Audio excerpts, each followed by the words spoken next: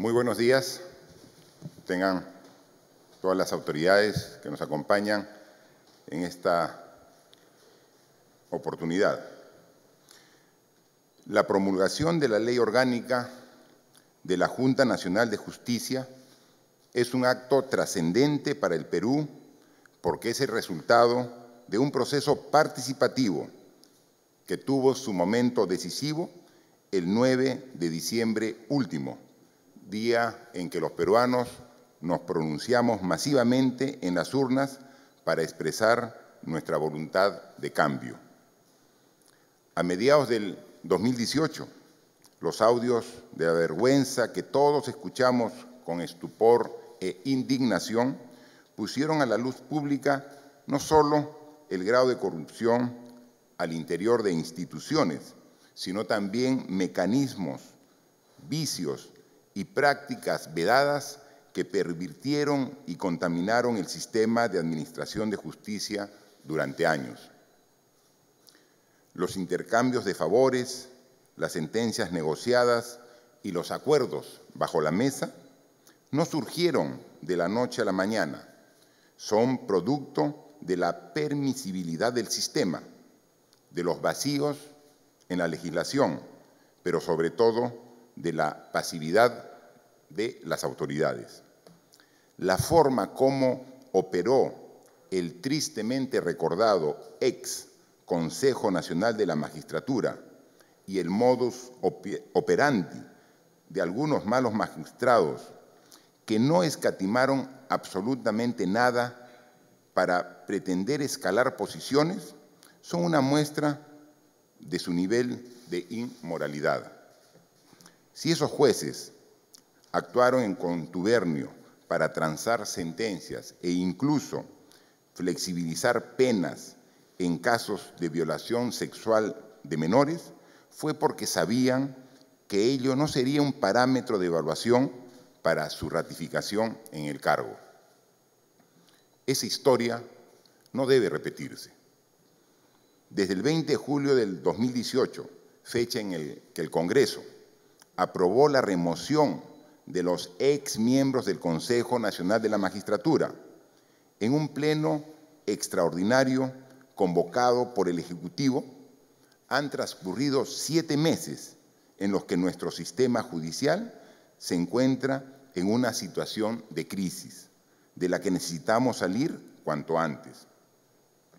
Desde aquella fecha, el país no cuenta con una institución que se encargue de nombrar, ratificar, supervisar y destituir a jueces y fiscales, con lo cual la administración judicial se mantiene en incertidumbre a tal punto que diversos procesos pendientes contra magistrados corren el riesgo de prescribir. Asumiendo nuestra responsabilidad de Estado y recogiendo el sentir de millones de peruanos, el último 28 de julio trazamos la ruta hacia la recuperación del prestigio y la legitimidad de las instituciones que nos permitan dar una respuesta firme a la población que clama por justicia. En ese sentido, las reformas constitucionales aprobadas en el referéndum del 9 de diciembre no son sino una expresión libre y democrática de los peruanos en favor de un sistema judicial eficaz, oportuno, transparente y libre de corrupción. La ciudadanía, con su voto en las urnas, decidió el camino de reformas que debemos seguir. Corresponde ahora a las instituciones implementar con responsabilidad la tan ansiada reforma del sistema judicial. La ley orgánica aprobada por el Congreso que permitirá el funcionamiento y regulará el proceso de selección de los miembros de la Junta Nacional de Justicia es un paso fundamental hacia ese objetivo. Sin embargo, consideramos que hay modificaciones realizadas por el Congreso a la ley propuesta por el Ejecutivo que no recogen los cambios en su totalidad que la población demanda para tener una verdadera transformación en el sistema de justicia.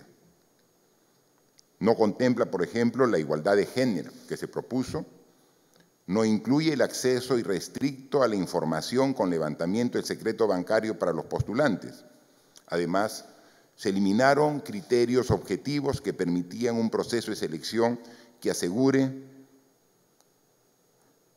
la selección idónea en la elección de los miembros de la Junta Nacional de Justicia. Creemos firmemente que estas cuestiones que fueron eliminadas en la versión aprobada por el Congreso hubiesen contribuido a generar una mejor Junta Nacional de Justicia.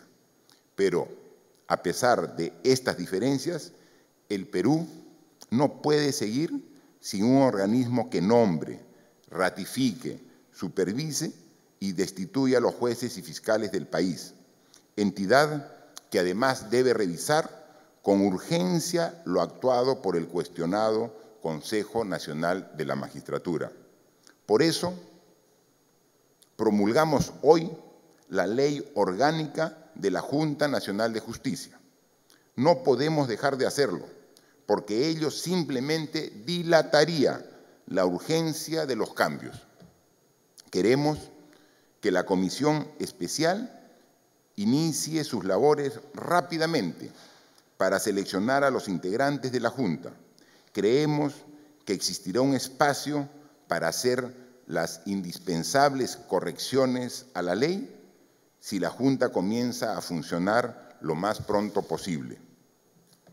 Al promulgar esta norma, convoco a los diferentes sectores políticos, económicos y sociales del país, a los jueces, fiscales, abogados y especialistas a consensuar principios básicos y políticas para avanzar con una reforma que genere una justicia eficiente y confiable.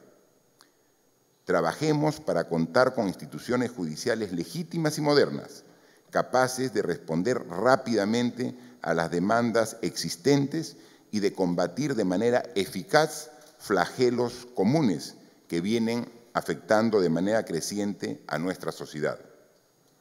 Para terminar, quiero reflexionar brevemente sobre lo que está sucediendo en el Perú. Asumí la presidencia hace menos de 11 meses. En este breve periodo, los peruanos hemos emprendido reformas impensadas hace poco tiempo atrás. Estamos trabajando duro para construir el Perú del futuro, un Perú con instituciones más sólidas, con un sistema de administración de justicia confiable e instituciones políticas sanas y limpias. Sabemos que falta mucho por hacer, que hay muchas cosas que podemos y debemos hacer mejor, pero tenemos la seguridad de que vamos por el camino correcto.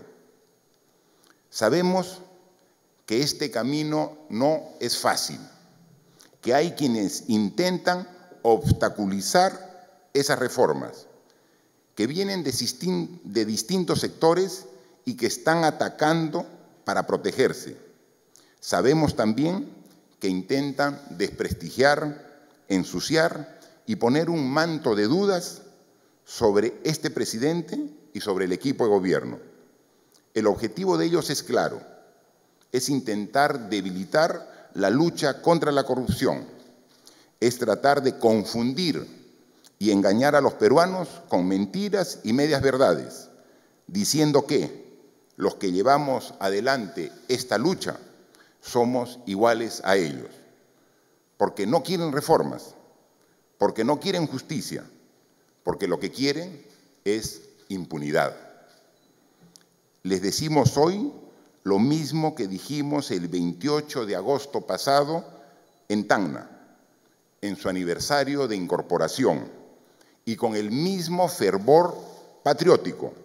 No nos van a doblegar, no van a lograr que la lucha contra la corrupción retroceda, porque esta lucha no es solo de este presidente, porque esta lucha por las reformas y en contra de la corrupción es de todos los ciudadanos honestos.